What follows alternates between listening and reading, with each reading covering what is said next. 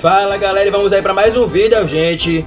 Dessa vez trazendo aí os piores esconderijos de bandidos, né pessoal? Olha, sem mais delongas, vamos iniciar aí logo galera, vamos indo, vamos indo, vamos indo, vamos indo. E já temos a polícia aí adentrando uma residência atrás de um larápio, digamos assim. Veja que o policial fala, ó, hum, vontade de tomar um café. Aí o bandido, ó, tem não. aí o policial, oxe, ó quem tá ali. Aí o bandido, ó, calma, eu tenho uma explicação. Era uma surpresa. Olha o que eu preparei pra vocês. ah, já vai tomar um suquinho? Beleza, fique à vontade. Não esqueça do assado. Isso, pode pegar a xícara grande. Eu fico com essa aqui mesmo, ó. É, para deixar mais pra vocês. Ah, então, leva a minha também, então. Deu ruim pra ele aí, viu, gente? Mas vamos indo, pessoal. Agora vamos para mais um aí, viu, gente? Parece que a criatura se encontra nesse quarto, viu, galera? Oxi, cadê ele? Dessa vez tá difícil, viu, pessoal? Vejo o policial falando, ó. Hum, cadê ele? Olha, uma cômoda. Aposto que tem uma tomada atrás. Sargento Jorjão, pode enfiar o cabo ali. Aí o ladrão é. Oxi, lá ele, meu irmão, tá doido, é? Gente, olha onde ele tava, meu amigo. Essa aí me surpreendeu, viu, galera? A verdade é essa, mas vamos indo, pessoal. Agora vejam esse aí, galera. Esse resolveu ir mais além, meu amigo.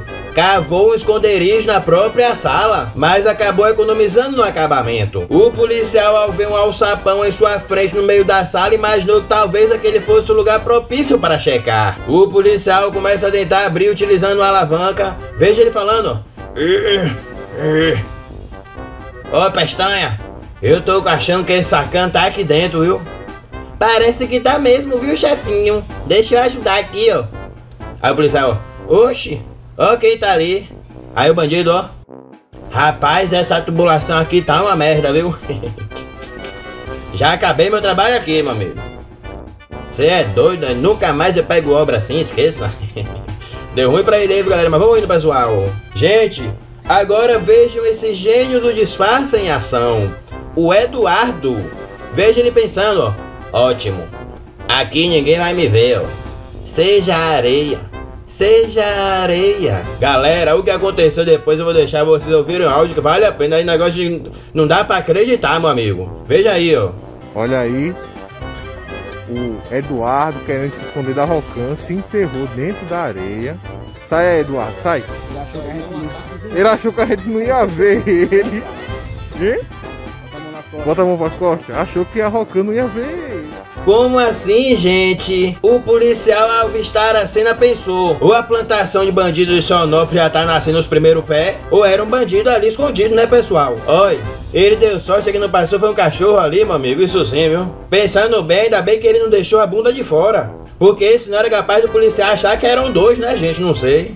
Galera, se ele dorme ali e alguém joga um lixo radioativo, olha o Homem-Aranha aí formado para dar trabalho pro Homem-Aranha, esqueça. Pessoal, eu acho que quando ele viu a polícia, ele foi dispensar o flagrante.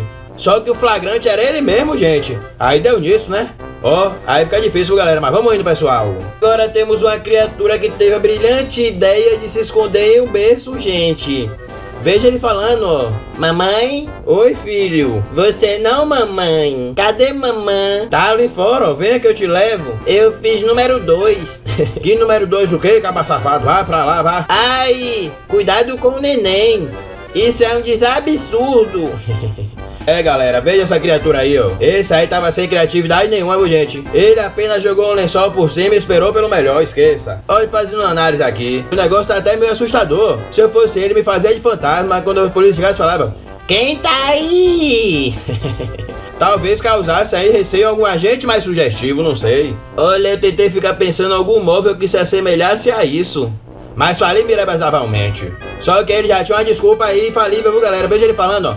Deixa eu explicar, pera aí. Eu tenho dois meses brincando de esconde-esconde já. É que eu sou muito competitivo, sabe? Eu nem ia sair daqui quando ganhar, mas vocês chegaram. Aí tudo bem, né? Assim fica difícil, galera. Mas vamos indo, pessoal. E já vamos para mais um aí, o Caius, meu pai. Galera, Oi, eu não sou de tirar conclusão precipitada, mas deve estar tá muito frio nesse quarto, viu? Veja que até o ventilador se agasalhou, meu amigo, esqueça. Tu caiu, gente. Olha onde tava a criatura, meu amigo. Foi porque ele disfarçou errado, pessoal. Era pra ele travar meio de lado e fazer assim, tec, tec, tec, tec, tec, tec, tec, tec, tec, pra passar mais semelhança. Oi, só faltou o policial dar um cascudo na cabeça dele pra ele começar a girar e aumentar a área de vento, né, gente? Hum, cadê o ladrão de petisco? Acredito que ele esteja nessa região, gente. Comeram petisco todo de lobinho, gente. Quem será que foi? Tá escondido por aqui. Quer dizer, né? Não sei. Onde será que pode estar a criatura a qual comeu o petisco de lobinho inteiro? Não sei. Oxe, Bimbinho? Você tá fazendo o que escondido aí, rapaz? Você viu o ladrão de petisco? Comeram todo o seu petisco? Não, você não sabe ainda não? É, tudo bem, né? Vamos ter que comprar mais 50 caixas pro seu lanche da tarde, né, Bibinho? Sem problema, não se preocupe. E ficamos mais um vídeo aí, galera. Espero que tenham gostado, pessoal.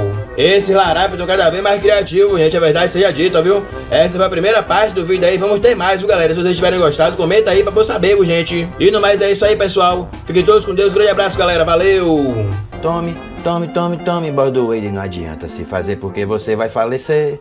Tome, tome, tome, tome na farofa e tome outra no pescoço e eu não sinto nem remoço. Não adianta tentar bater na minha e nada é a mesma coisa e eu não sinto nem cosquinha. Você vai conhecer a terra prometida, pois eu vou causar-lhe a morte, mas é sem tirar-lhe a vida.